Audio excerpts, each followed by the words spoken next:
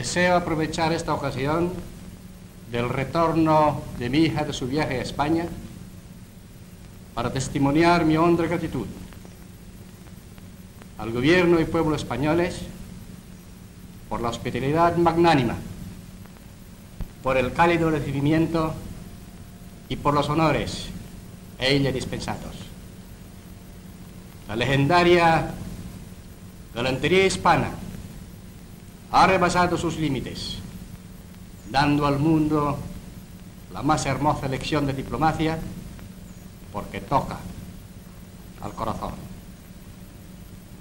Nada halaga tanto mi vanidad de padre y ejecutivo de la nación como el pensar que el tránsito fugaz de mi hija por tierras españolas ha sido la chispa que ha encendido la hoguera que ha de alumbrar el destino de los dos pueblos.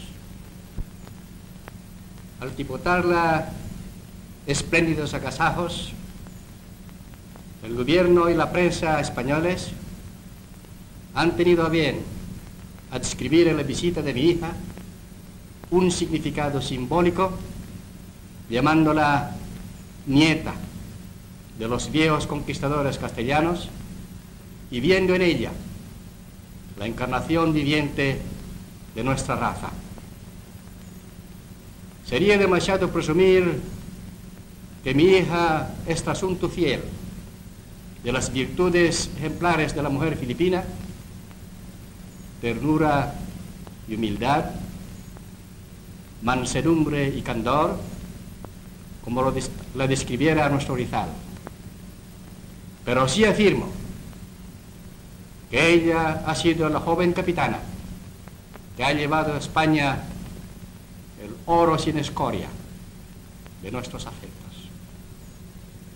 Bien presintió el poeta de Valencia en su salutación en ocasión de la visita de mi hija a dicha ciudad, cuando dijo, y cuando mañana vuelvas a tus lares, llevarás el alma de nuestros cantares. Pues a su regreso nos ha traído el regalo del alma hidalga de España.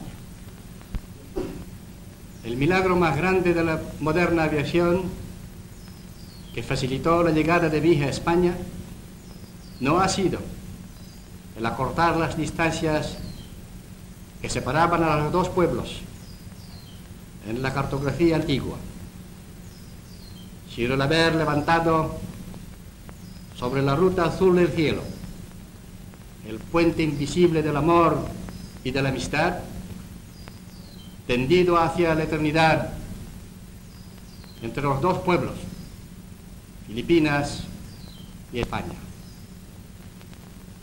Los vínculos de religión, idioma y cultura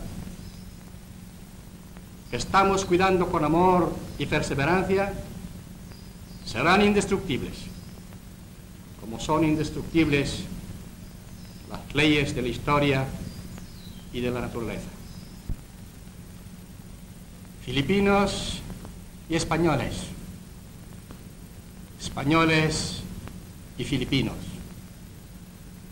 Alcemos los ojos a lo alto y trabajemos de consuno para que la buena semilla de la hermandad filipino-hispana madure en espigas de oro al calor de nuestra fe, reflejando el latido de la paz y el progreso universal.